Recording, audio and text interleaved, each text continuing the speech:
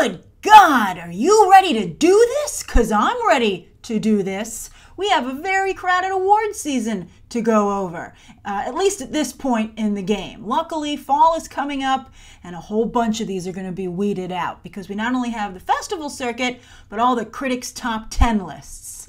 And let's just say a lot of these are going to turn into bridesmaids.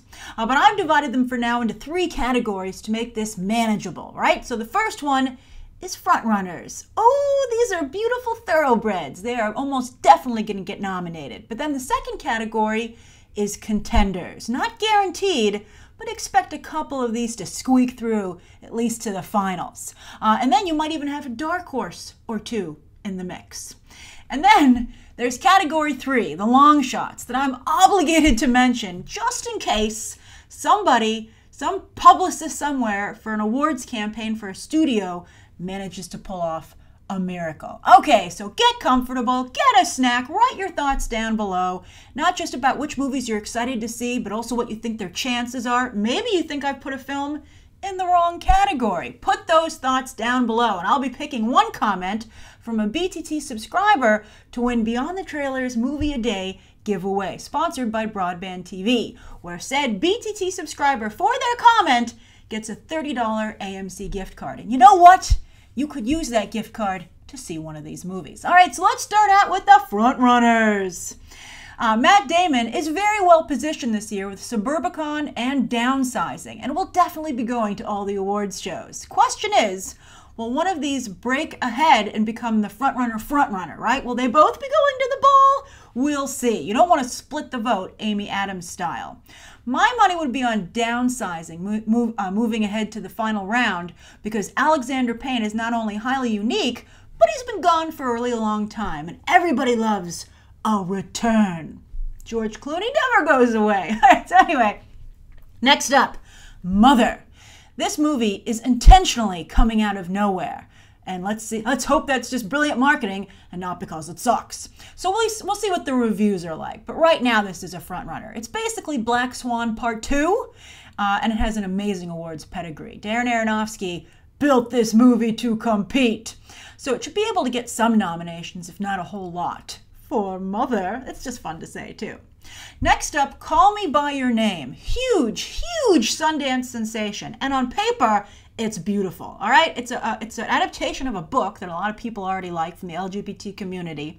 It's about a gay romance in the 1980s in Italy between a teenager and one of his father's academic assistants, whose uh, assistants who's played by Armie freaking Hammer. Already setting hearts aflutter. It just screams Oscar on the page. So this movie, it's pretty much impossible for it to mess that up. So at least it's going to get some nominations.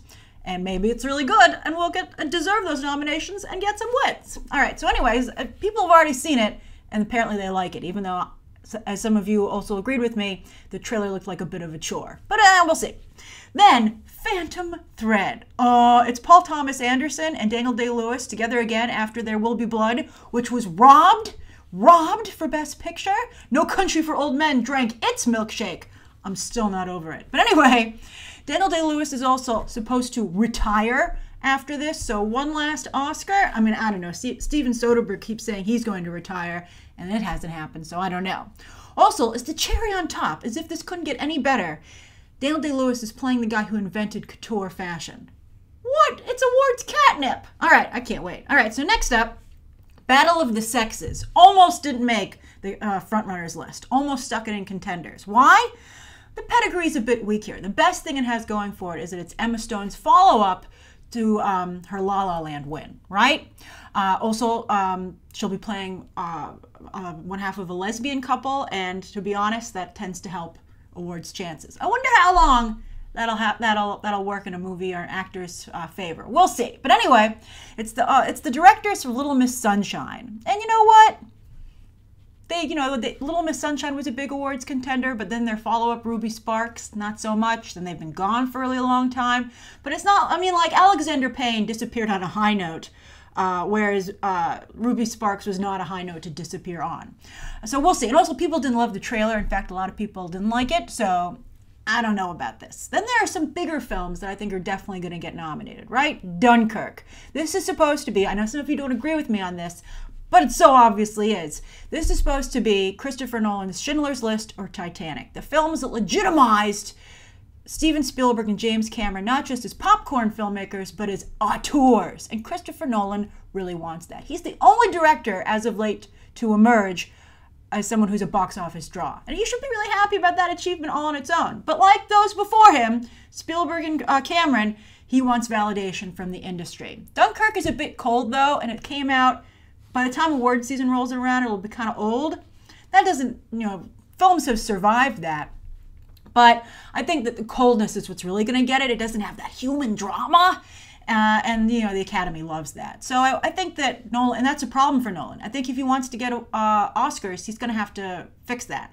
Uh, but anyway, I think this will probably dominate in technical categories, which is where Nolan usually dominates. All right, then Wonder Woman. Warner Brothers is going for it. Wonder Woman succeeded at the box office against all odds. So Warner Brothers is trying to turn all that goodwill into Oscar gold. And their secret weapon?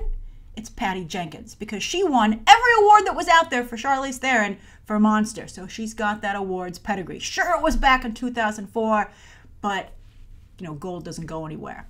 Uh, so I think a director nomination is the best chance that Wonder Woman actually has. But as for Get Out, I think this movie's best chance is Best Original Screenplay for Jordan Peele. But Universal is pushing this very hard, and they're going to try and get nominations across the board, or at least more than one. But Jordan Peele, very exciting for him. He's not only a new director, a new voice in, a, in an industry that badly needs new voices. Uh, well, you know, social social commentary voices, which is what makes Get Out so special, and social commentary that interests all the demographics. You know, just as an appeal to one. That's really crucial. The amount of people that came out across the board for Get Out makes a difference, I think, to voters. Uh, and then also the diversity that that as well. You know, you want more diverse uh, filmmakers, and so I think Jordan Peele is important for that as well, and could end up getting a director nomination for that for that aspect as well. All right, so that's the front runners. Let's look at the contenders. Some of you are probably like, you're really saying some hard truths here, Grace, but I got to break it down for you why things are nominated and why potentially they aren't, right? I mean, this is what the Academy thinks like. You got to realize it. And some of you might be like, I mean, they're changing the votership, but you have to remember for the most part, the votership is still baby boomers World War II.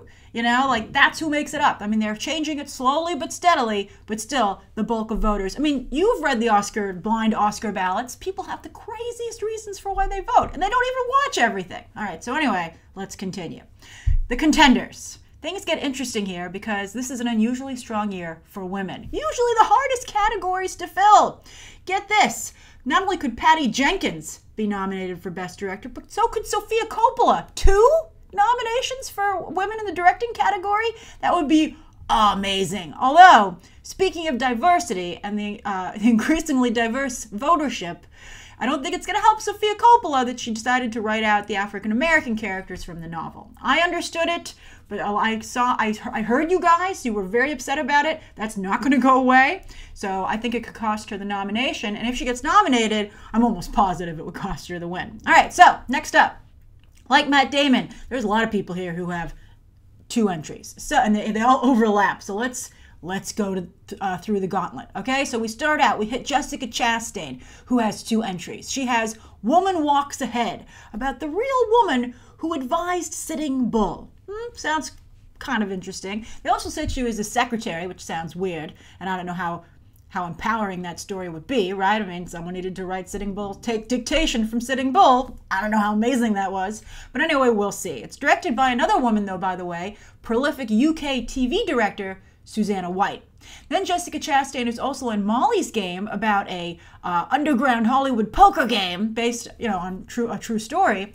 And this is Aaron Sorkin's directorial debut. A lot of people are going to pay attention to that. And Idris Elba co-stars here, and he's got another movie, The Mountain Between Us. Now, this movie looks very good. I don't know if it's so much an awards contender at first glance, but its director Hani Abu Assad has had two of his films nominated for Best Foreign Film. So he's got the inroads there. He has the relationships. Something could happen here. And Kate Winslet always helps, unless she decides to throw all of her campaigning into Wonder Wheel because, you know, Woody Allen and Academy voters like him too, despite incredible odds they have to overcome to like him. so anyway, Justin Timberlake here is a wild card, but he didn't hurt the social network, and he is Oscar nominated already for his song for the Trolls movie, which was a great song, by the way.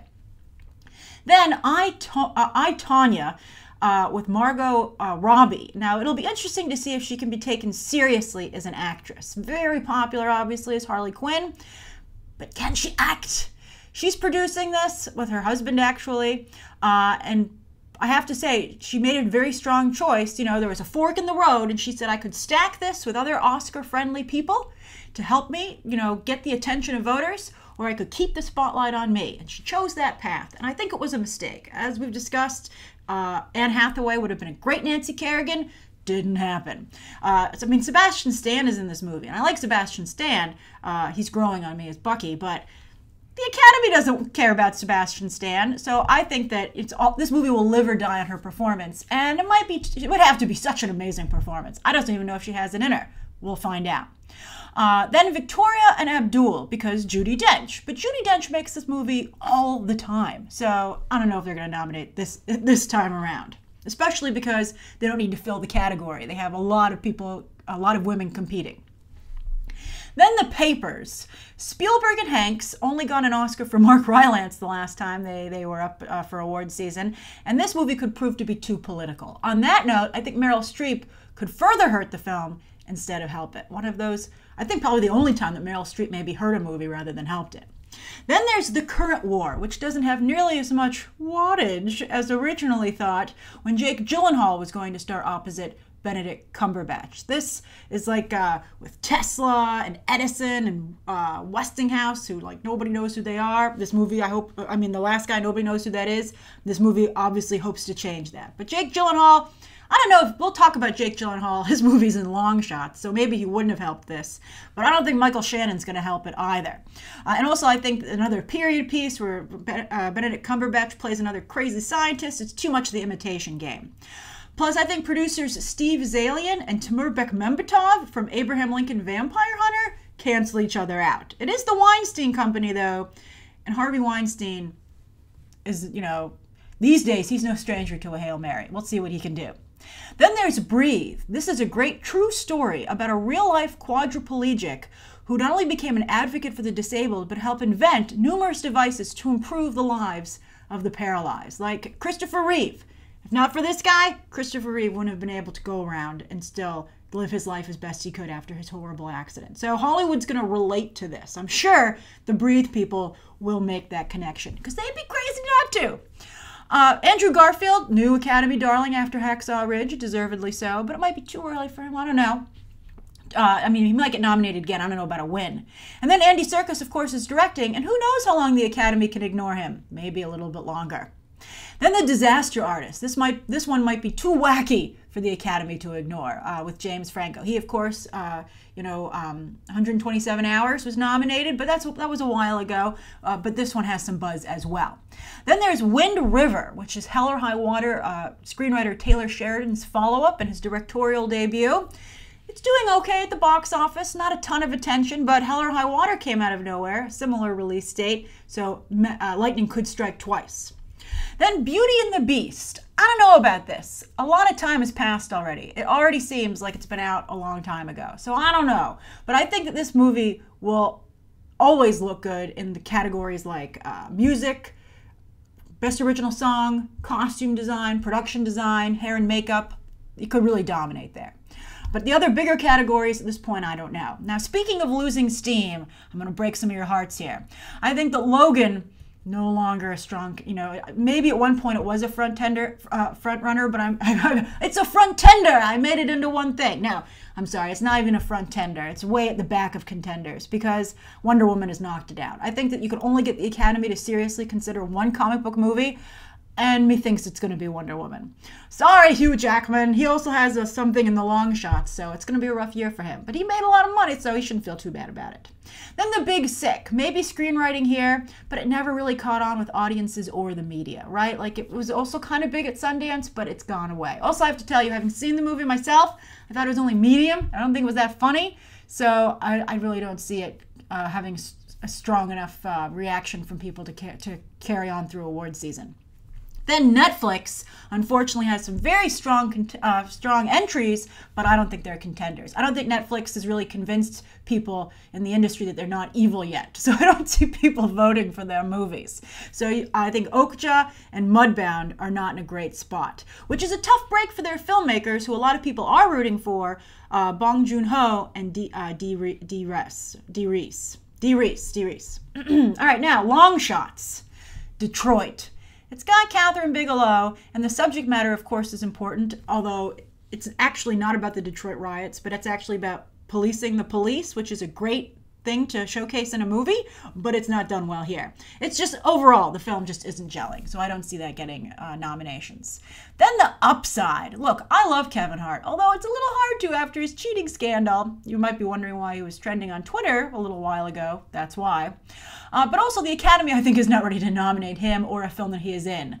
And really, this is the remake of one of the most successful foreign films of all time. I mean, it's kind of an insult to the original, which won so many César Awards and um, put Omar Sy on the map. Things didn't really work out for him either, unfortunately, though. It's too bad. But anyway, I think that was partially a language barrier. All right, so anyway, or at least in this case, an accent barrier. It's hard for the French to uh, look at. Um, uh, um, oh my God, I can't even remember his name from the artist. I think it was like have uh you know, remember him? He won the Academy Award for Best Actor. Where is he? He had to go home to France. All right, so anyway, next, The Darkest Hour. Gary Oldman's comments. Remember those? I think every, I mean, if you don't, I'm sure Hollywood still does. So I don't think that they're going to nominate anything that he's in. Also, everybody loved uh, John Lithgow as uh, Winston Churchill in The Crown, and he just won a, uh, like a Golden Globe for it. I think he's probably going to win an Emmy. I don't think that dark, the darkest hour. Everybody already has their Winston Churchill for now. Uh, then there's Stronger. Jake Gyllenhaal, fabulous actor. We love him. But you know what? He hasn't been nominated since 2005 for Brokeback Mountain. The Academy apparently not that impressed. That's insane. But anyway, David Gordon Green is the director here, and he just doesn't have a strong enough reputation to help this movie out. Uh, also, Patriots Day, about the Boston Marathon bombing as well, already did the awards rounds last year, and it did them unsuccessfully. So that path, it's not going to be favorable, I think. Then The Shape of Water. Guillermo del Toro I think he's just made too much pulp and not even highly acclaimed pulp at that. Like, whoa, like not good movies. Uh, and so I think that he's trying to come back here and be like Pan's Labyrinth too. But Pan's Labyrinth that's you know that seemed like an awards picture whereas this one just seems too stylized for something that the academy would be interested in. This still seems like a comic book movie even though he's not making those anymore. In fact he can't because he was kicked off of hellboy. Also not going to help him. Then there's wonderstruck uh, with todd haynes reteaming with julianne moore and you know everybody loved carol. But I have to say, so on that note, maybe I could see this breaking through, but right now it has absolutely no heat. So it's going to be hard. Like at this point, Carol had a lot of heat already. And so the fact that Wonderstruck does not doesn't bode well for it. Then, Goodbye Christopher Robin, Finding Neverland already did this. Uh, all the money in the world. You know, it's the it's the Getty kidnapping, but while Ridley, I mean, it's Ridley Scott. Once upon a time, maybe this would have worked out for him, but I think he's just made too many bad movies. Like, well, I liked Alien Covenant, but a lot of people did not. Then The Counselor, and then the star power here just isn't enough to, to push him over what he's over the obstacle that he's created for himself. Then three billboards. Frances McDormand, yay! Everybody loves her.